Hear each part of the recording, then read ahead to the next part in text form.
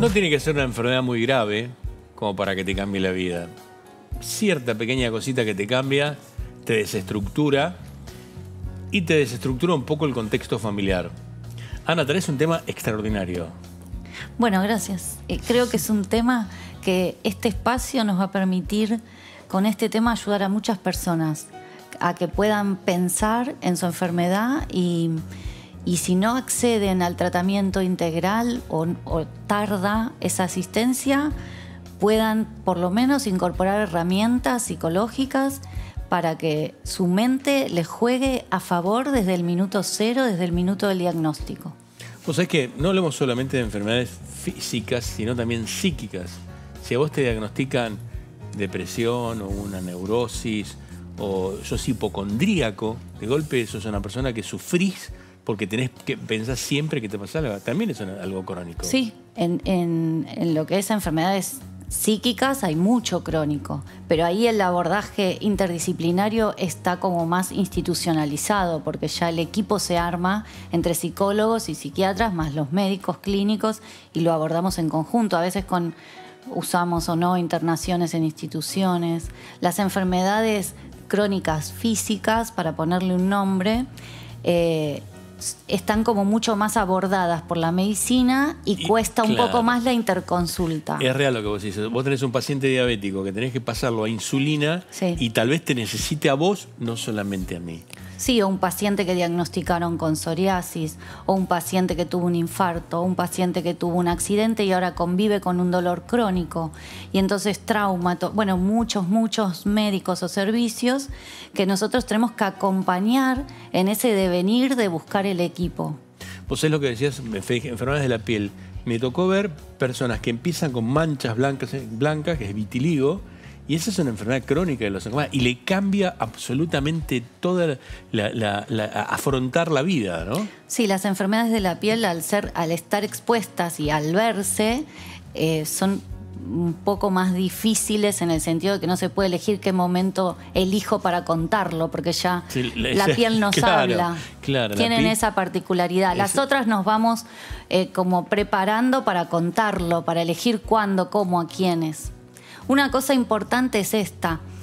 El primer paso desde las herramientas que queremos ofrecer es que los pacientes, más allá de la enfermedad que hayan sido diagnosticada, se armen su Dream Team, ¿no? Decimos su, su equipo. No solo la familia que los va a apoyar, los amigos con los que pueden hablar de esto, cuando lo quieran contar, sino elegir en la medida de lo posible de su, de su cobertura médica, de sus obras sociales, elegir los médicos, los terapeutas, los kinesiólogos, los nutricionistas, todo el equipo que los haga sentir bien, que los haga sentir una persona enferma, A- no a un veces enfermo. fallamos ahí. Fallamos, porque ella me va a decir del otro lado, mira, Ana, es buenísimo, pero fallamos.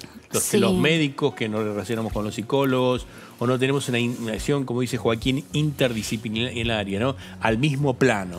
imprescindibles. Estamos aprendiendo, mejoramos un montón y la verdad que, eh, que muchos pacientes tienen acceso a la interconsulta con psicología, psiquiatría, podemos charlar de esto, armamos grupos de pacientes.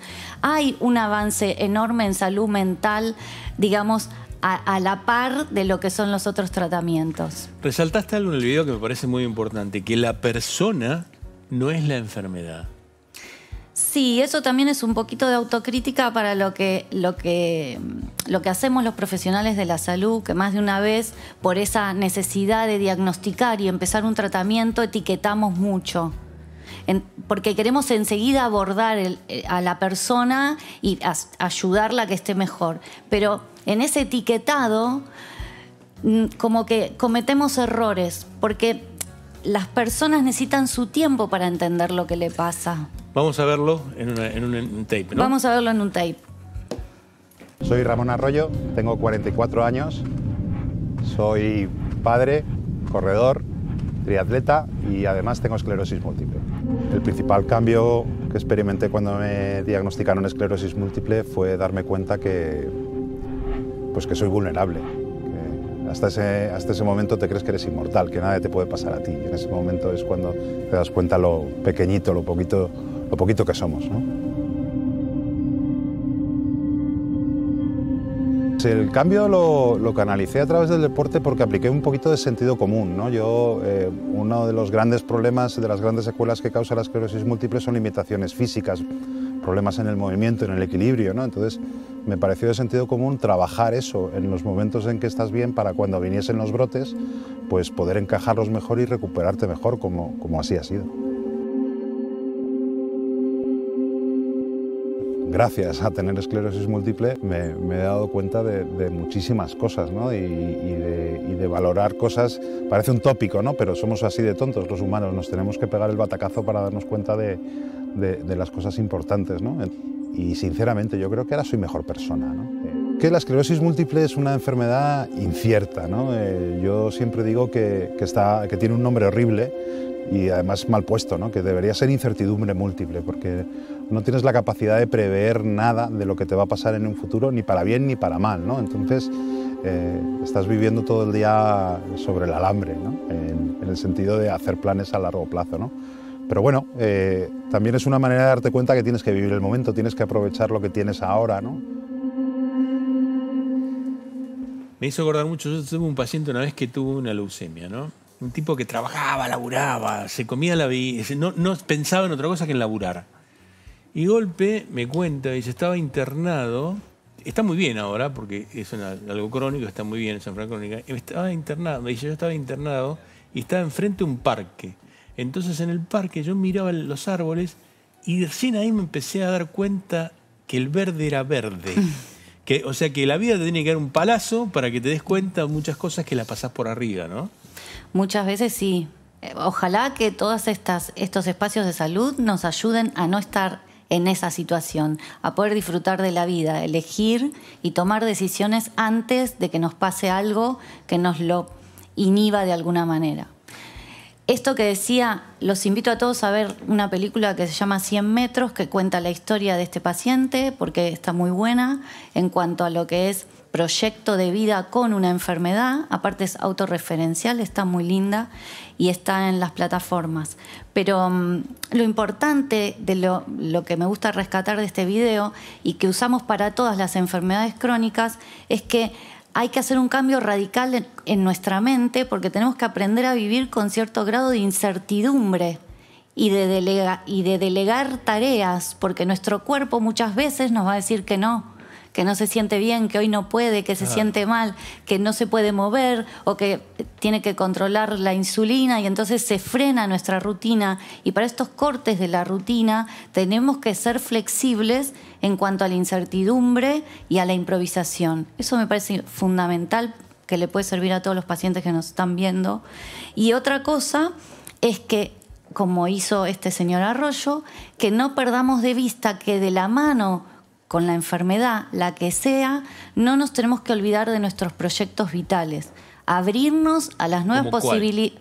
Como proyectos, ahora vamos a ver un video que trae buenas ideas sobre proyectos con las enfermedades.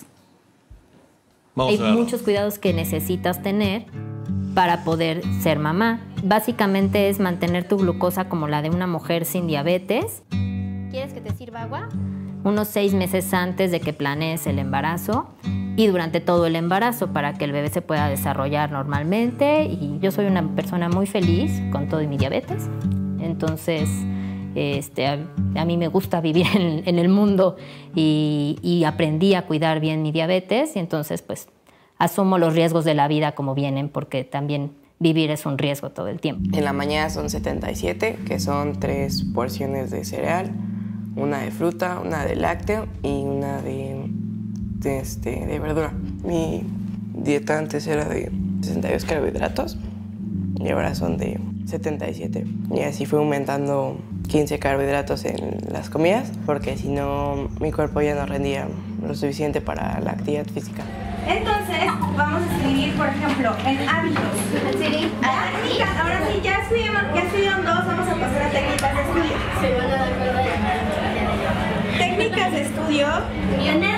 Bonita. Yo. ¿Puedo leer lo que Hacer esquemas. Sí. Técnicas de estudio. A ver.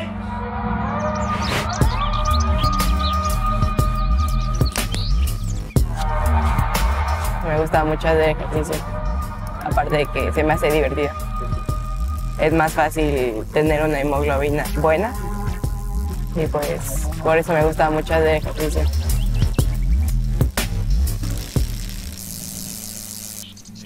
¿No? Imágenes de superación, imágenes de incorporar la enfermedad a mi vida y con las modificaciones que esa enfermedad me, provoca, a pesar de eso, o, con eso, recuperar mis proyectos, volver a hacer deporte, en el caso de en este caso que, traemos de una mamá que decide cómo, cuándo tener su hijo y cómo manejar ese, ese tratamiento para poder lograrlo.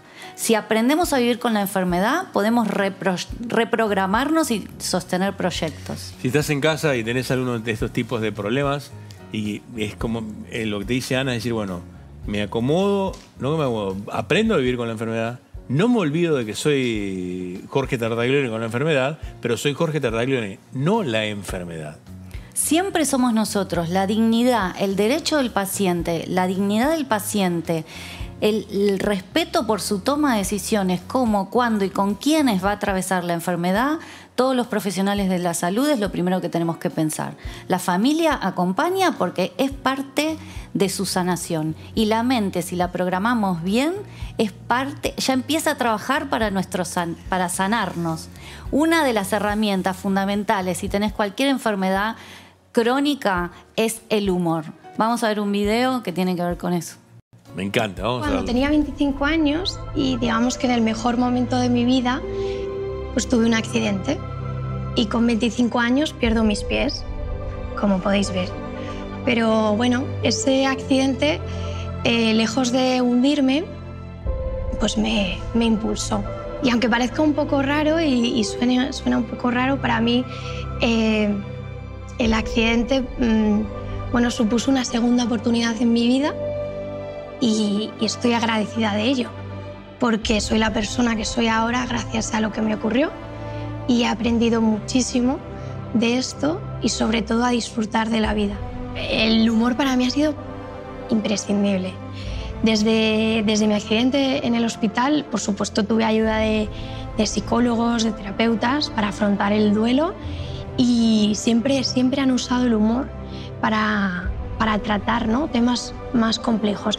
Y aprendí primero a reírme de mí misma, porque es que no hay nada más divertido que reírse de, de los gazapos, de, los errores que cometes y, de, y de, ti misma. Y yo hago muchas bromas, a veces un poco bestias, eh, con un humor así negro. Eh, bueno, pues al principio eh, lo típico, pues si llovía y venían a recogerme algunos amigos a casa, les decía, no, que no puedo salir, que me oxido.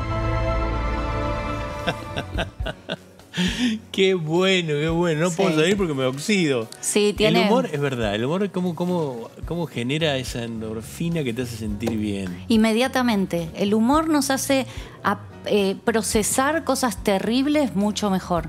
Necesitamos esa energía que nos da el humor para poder entender que esa realidad es real y que ahora tengo que vivir con eso. Entonces, si me empiezo a reír de eso, si lo empiezo a, tomar con ese humor que me da mucha, mucha vitalidad, eh, digamos, en contraposición a lo que es el desaliento de una enfermedad, si me empiezo a reír de eso, se hace mucho más corto el tiempo de adaptación, puedo vivir mejor.